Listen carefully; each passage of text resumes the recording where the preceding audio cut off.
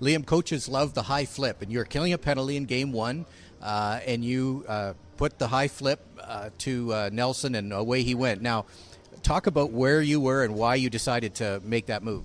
Uh, yeah, I got it like probably like low, low bottom of the circle there, and uh, I saw Nelly curl, and I know Nelly's pretty good skater, so I trusted him enough. And the flick's usually a pretty way, good way to get it out, so try to flick it in the area for him to go skate onto it, and he skated onto it and drew a penalty and uh, scored on the penalty shot after. And the Knights will find it, and Liam Foudy. tosses this ahead. Nelson catches up to it, bit of a break, in on goal. He gets hooked, penalty shot.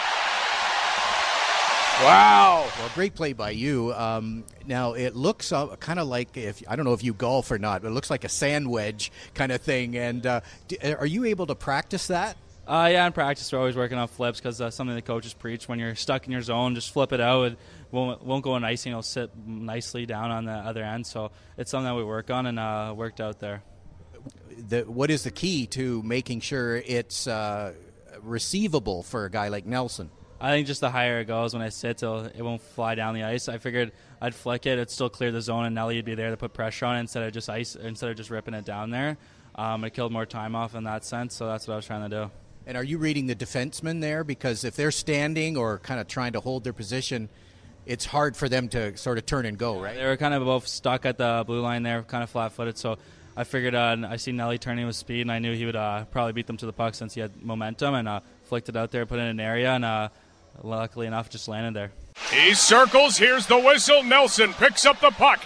Josh Nelson, you uh, in game one of this series were on the receiving end of uh, Liam Foudy high flip. Uh, those high, two words, high flip. I mean, they're beautiful to coaches. The coaches love it. How did you see that play, and uh, what did you uh, read uh, for Liam Foudy there?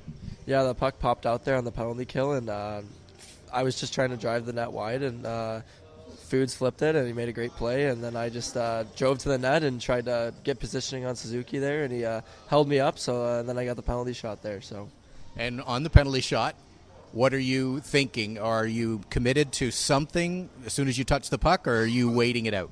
Yeah, usually uh, I go five hole. I usually practice that and practice a lot, and then but uh, all the guys on the team are saying go blocker. He's in across the blue line. Nelson in on goal, shoots, scores! Josh Nelson